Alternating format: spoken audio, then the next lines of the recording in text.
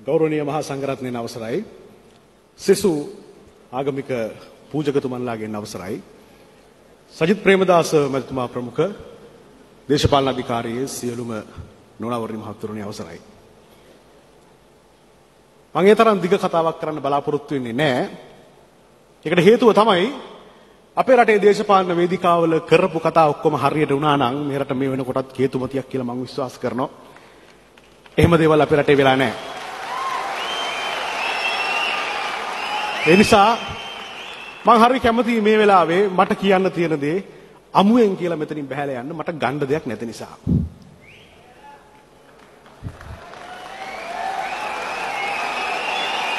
ආදරණීය සහෝදරවරුනි ලංකාවේ තැන් කීපයකම සජිත් ප්‍රේමදාස මහතා ජනාධිපති කරන්න ඕන කියලා තරුණ සමුළු කීපයක් තිබ්බා. ඒ සමුළු කීපයකම මම කතා කරලා තියෙනවා. ඒ හැම වෙලාවකම මම කතා කරේ සජිත් ප්‍රේමදාස වෙනුවෙන් ඔබට. මම අද බලාපොරොත්තු වෙනවා ඔබ වෙනුවෙන් සජිත් ප්‍රේමදාසට කතා කරන්න. ඒක හොඳයි. ජනාධිපති අපේක්ෂකතුමනි මම මේ කතාව මෙහෙම පටන් ගන්නම්. මේක හරි දුප්පත් රටක්. මේ අප්පුඩි ගහන ඔක්කොම උන් හරිම දුප්පත්. ඒක තමයි ඇත්ත. ලංකාවේ ලංකාවේ දේශපාලනය ඇතුලේ අන්තිම අවුරුදු 25ටම එකම රාජ්‍ය නායකයෙක්වත් හරියට මේ දුප්පත්කමට කතා කළේ නැහැ.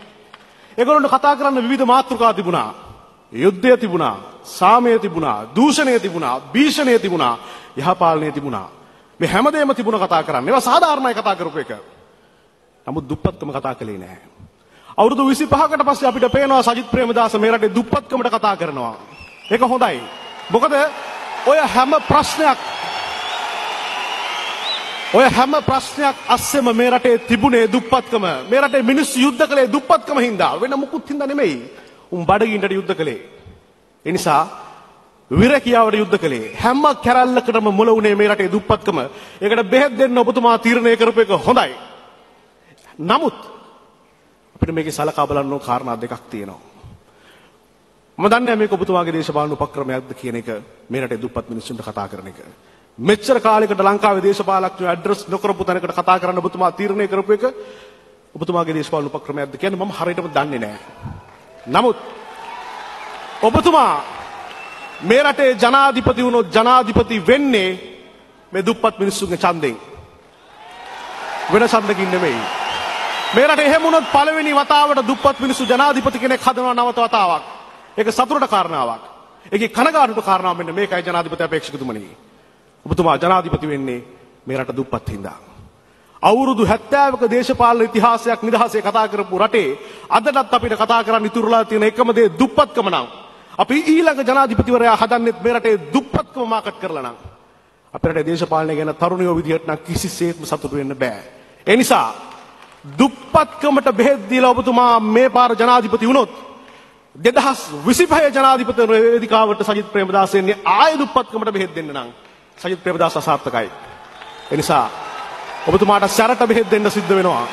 තව දුරටත් මේ රටේ ජාතික තාරුණ්‍ය රවට්ටන්න දෙයක් ඉතුරු වෙලා නැහැ. ඒ නිසා ඔබතුමාට මේ පාර ඇත්ත කරන්න සිද්ධ වෙනවා. කොටිම කිව්වොත් 16 වෙනිදා ඔබතුමා ජනාධිපති වුණොත් 17 වෙනිදාට සැප ගන්න රටක් ඔබටවත් මටවත් ඉතුරු වෙලා නැහැ ජනාධිපති අපේක්ෂකතුමනි. ඒ නිසා පැහැදිලිවම වැඩ කරන රටක් හදන්න ඔබතුමාට සිද්ධ වෙනවා. මේ පළවෙනි කාරණාව අපි ඒ තරමට දුප්පත්. කොච්චර දුප්පත්ද කියලා කිව්වොත් මේ රටේ උපදින්න ඉන්න දරුවා පවා නායකාරයෙක් බවට පත් වෙලා ඉවරයි. ඒ తত্ত্বය එහෙම වුණත් අපි තාමත් අවුරුදු 2500 කෑත අතීතයක් ගැන කතා කර කර වංශ කබල් ගාමින් ඉන්නවා. අපි හරි ප්‍රවුඩයි කියලා. හැබැයි ප්‍රවුඩයි නමුත් දුප්පත්. ඒ නිසා ඔබතුමා ඇඩ්‍රස් කරපු දැන හරි. හැබැයි දැන් එතෙන්ට හරියට ට්‍රීට් කරන්න ඕන. තව දුරටත් මෙරට දුප්පත් වෙනවා නම් ඔබතුමා අසමත්. මගේ ඊළඟ කාරණාව. ලංකාවේ දේශපාලනය තුළ මේ දවස්වල හරි ජනප්‍රිය තවත් මාතෘකාවක් තියෙනවා ඒ තමයි පාර්ලිමේන්තුවේ 225 එපා කියන එක.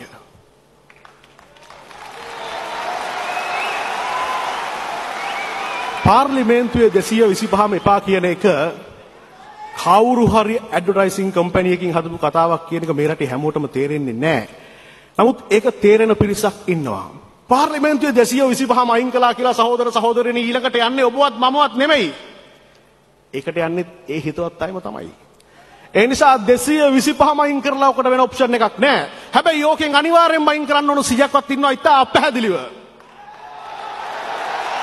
මේ රටේ මහජන මුදල් කොල්ල කන මේ රටේ ජනතාවට බොරු කියන සීයක්වත් ඉන්නවා පාර්ලිමේන්තුව පැත්ත පළාතට වද්දා ගන්න හොඳ නැති යෝන්. ඒ නිසා ඒ 100ක් 200ක් මේ රටේ පාර්ලිමේන්තුවෙන් අයින් කරන්න පුතුමාට වැඩ කරන්න සිද්ධ වෙනවා.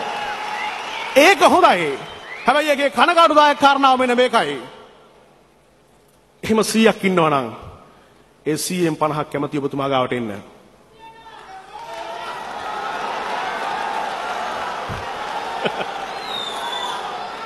ඒ නිසා ඒ 100ට 50ක් ඔබතුමා අයින් කරන්න ඕන. ඔබතුමා මේ රටට පොරොන්දුවක් දෙන්න ඕන. ඊළඟ පාර්ලිමේන්තුවට නාම යෝජනා දෙනකොට හොරුන්ට නාම යෝජනා දෙන්නේ නැහැ කියන පොරොන්දුව මේක දීලා දීලා ඇති වෙලා තියෙන්නේ. හැබැයි විශ්වාසයෙන් මේ පොරොන්දුව දෙන්න ඕන. ඒ වගේමයි මහජන ඡන්දයෙන් ප්‍රතික්ෂේපන එකෙකුටවත් නාම යෝජනා දෙන්නේ නැහැ කියන පොරොන්දුව දෙන්න ඔබතුමාට හයිය තියෙන්න ඕන. ඒ වගේමයි මේ රටේ මේ අප්පුඩි ගහන මේ කෑ ගහන මේ හුරේ කියන මේ දුප්පත් කොල්ල කෙල්ල බදු ගෙවලා බස්වල කෝච්චිවල අමාරුවෙන් යද්දී මේ රටේ මැති අමුතිවරුන්ට අලුත් වාහන අරන් දෙන්නේ නැහැ කියලා කියන්න ඔබතුමාට පුළුවන් වෙන්න ඕන. ඒක තමයි මේ රට ඉතාම සද්භාවයෙන් බලාපොරොත්තු වෙන කාරණාව. එහෙම නැතුව හොර රලක් එක්ක ඉස්සරහට යන්න දේශපාලන සංස්කෘතියක් ඔබතුමා නිර්මාණය කළොත් ඔබතුමා රාසිංහ ප්‍රේමදාස මහත්මයාගේ පුතා නෙවෙයි බන්දුල ගුණවර්ධන කියන විදිහට සක්කරයාගේ පුතා වයිම වුණත් මේ රට ඉස්සරහට ගෙනියන්න ඔබතුමාට බෑ ඒ නිසා මේ සංස්කෘතිය සම්පූර්ණ වෙනස් කරන්න ඔබතුමා කරන්නේ මොනවද කියන එක අපිට මේ ප්‍රඥප්තිය වෙලාවේ පැහැදිලිව කියන්න ඕන. ඒක ඉතා විශේෂයි. මීට වඩා දුරදිග කතාවක් කරන්න මගේ බලාපොරොත්තුවක් නැහැ තව එක කාරණාවක් තියෙනවා. ඒ කාරණාව විතරක් මතක් කරනවා. මගේ කල්යාණ මිත්‍රයා එරන්ද වැලියන්ගේ මේ ගැන පොඩ්ඩක් කියපු හින්දා මම හිතනවා මේ ගැන කියන්න හොඳයි කියලා. ලංකාවේ දේශපාලන වේදිකාවේ මේ දවස්වලට උණු කැවුම් වගේ විකිරෙනවා ජාතිය ආගම සහ දේශ ප්‍රේමය. ඒවා හරි අඩු මිලට අර පැත්තේ කඳවුරක විකුණනවා. ඒ නිසා මේකට ටිකක් බරපතල විදිහට උත්තර දෙන්න ඔබතුමාට සිද්ධ වෙයි. මම මෙහෙම කියන්නම්. ආගමට උත්තර දෙනකොට ජනාධිපති අපේක්ෂකතුමනි හැම පන්සලක්ම නඩත්තු කරන එක ඔබතුමාගේ යුතුයකම වෙන්නේ නැහැ. මේ වෙලාවේ ඒකත් නෙමෙයි රැල්ල. බුදුහාමුදුරෝ කියපු බණට පිටින් වෙන බණක් ලොකු හාමුදුරෝ කියනවා නම් ඒ ලොකු හාමුදුරන්ට අමුතු වරප්‍රසාදයක් දෙන්න ඕන නෑ දේශපාලන පක්ෂය මොකක් වුණත්. බුදුහාමුදුරෝ කිව්වේ මෛත්‍රිය නම් හාමුදුරුව වපුරන්නේ වෛරය නම් ඒ පන්සලට දේශපාලන බලපෑමක් තියෙනවා නම් ඒ පන්සල නඩත්තු කරන්න ඕන නෑ. ඒකයි ඇත්ත කතාව. අපිට ඕනේ අවංක බෞද්ධ සමාජයක් නිර්මාණය කරන්න. මේ සමාජය බෞද්ධ කරනවා කියලා කියන්නේ මිනිස්සුන්ගේ හදවතේ බුද්ධ ආගම රජ වෙන්න ඕන. නැතුව හාමුදුරන්ගේ වාහනේට VIP ස්ටිකර් එක වැදලා වැඩක් නැහැ. එහෙම වැදුනා කියලා මේ රටේ බුදුදහමට කිසිම ප්‍රගතියක් සිද්ධ වෙන්නේ නැහැ. ඒ නිසා ඒ වගකීමත් ඔබතුමා බාර ගන්න ඕන. පන්සල විතරක් නෙවෙයි පල්ලි ඇතුලේ අන්තවාදයේ වැහි වහනවා. මේක අරාබි කොලනියක් කරන්න අවශ්‍යයි එහෙත් ඉන්නවා මෙහෙත් ඉන්නවා. ඒ නිසා ඒ සියලු දෙනාට ඍජුව උත්තර දෙන්න ඔබතුමාට පුළුවන් වෙන්න ඕන. ඒ නිසා තවදුරටත් මේ රටේ සජිත් ප්‍රේමදාස ජනාධිපති වෙනවා නම් අපි හීන මිලදී ගන්න සූදානම් නෑ. මම අවසාන වශයෙන් කියන්නේ එරන්ද කිව්වා මේ දකුණු ආසියාවේ පළවෙනි වතාවට ලංකාවේ පළවෙනි වතාවට ජනාධිපති අපේක්ෂකවරයෙක් ප්‍රඥප්තිය අස්සම් කරන්න කියලා. හොඳයි ඒක හොඳයි.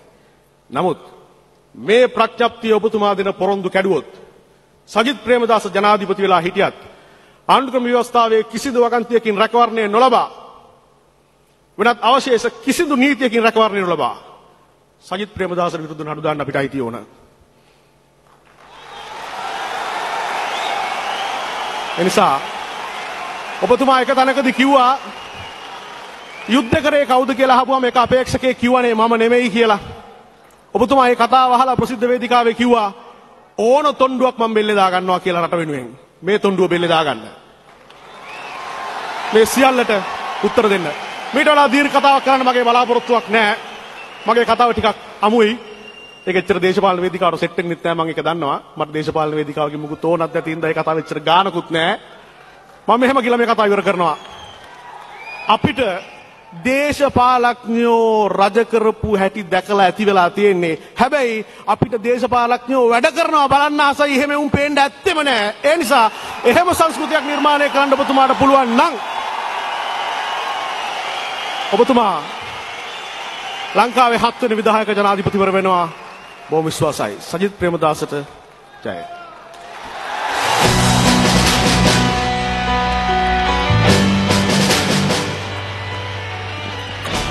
ස්තුතියි ඉර්ෂාන් ඔබට.